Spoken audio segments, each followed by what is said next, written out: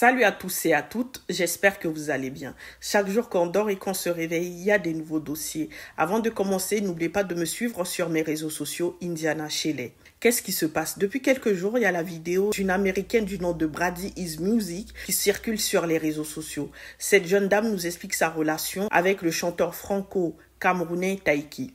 Mais elle, là, elle oublie que Taiki est Bamileke.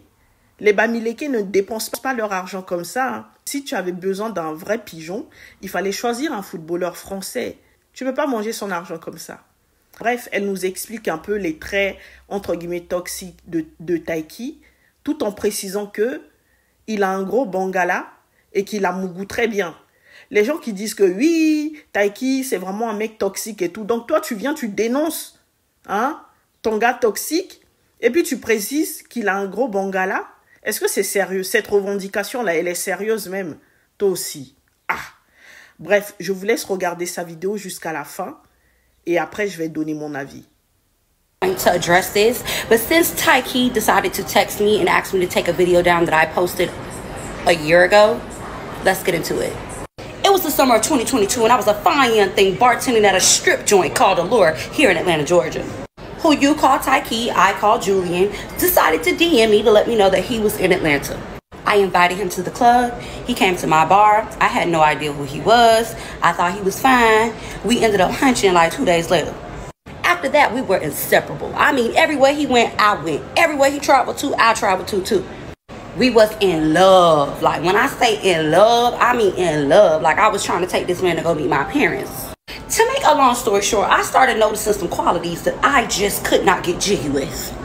And at first, I would make up excuses because the D was good. Like when I say the D is good, best D I ever had in my life.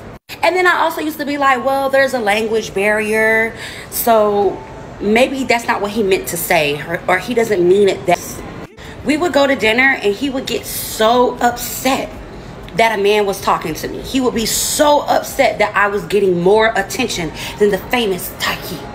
When I say I don't think I've ever met a more insecure person than him, we would go to dinner here in America where you're supposed to tip, and he would literally run up a $500, $800 tab and not leave the waiter a dime. Being that I work in the hospitality industry, I'm a server, bartender nonetheless, that would really upset me and I would try to explain to him the importance of paying these people. He didn't care. He would tell me, I'm from Paris, we don't tip. Not to mention, he would blatantly call me fat in front of anyone.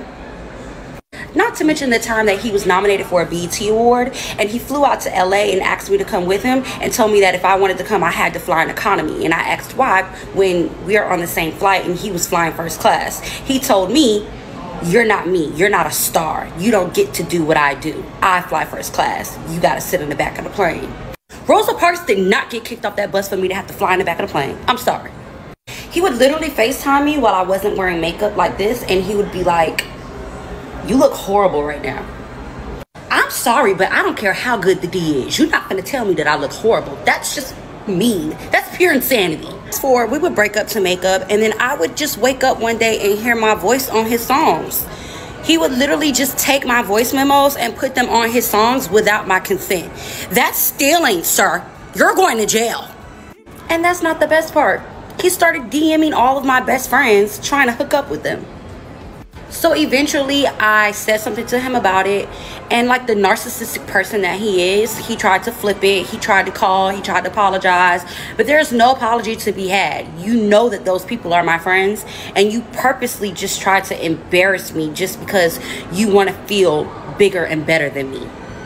And because I called him on his BS, he decided to block me. So he blocked me from all social media for like maybe three, four months only to unblock me and call me just to say, hey, I wanted to let you know that I'm having a baby. So yeah, that's it. Your precious Tayc, the Julian himself. He's actually a very horrible person. Congratulations. And he knew about the video. He's been known about the video. He saw the video. He follows me on TikTok. Check my followers. I don't follow him, but he follows me on all social media. Stop lying. I guess his baby supposed to be mad about the video all of a sudden. He actually told me to make a story time because he thinks that no.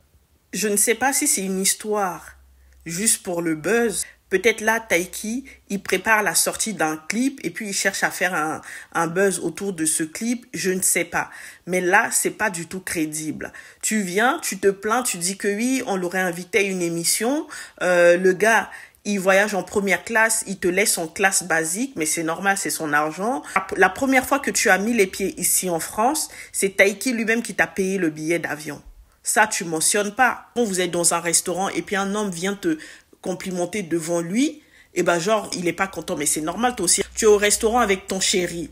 Il doit laisser les, les hommes venir te draguer devant lui. Aussi, si tu voulais te laisser draguer par les autres hommes, il ne fallait pas aller manger au restaurant avec ton mari, enfin avec ton chéri. Moi, dans cette histoire, je ne vais pas mettre les organes parce qu'après tu vas te rendre compte que c'est un buzz, c'est surjoué. Et vous, qu'est-ce que vous en pensez de cette histoire? Moi, c'est Indiana Shelley. N'oubliez pas de me suivre sur mes réseaux sociaux. Je vous dis à très bientôt. Restez connectés.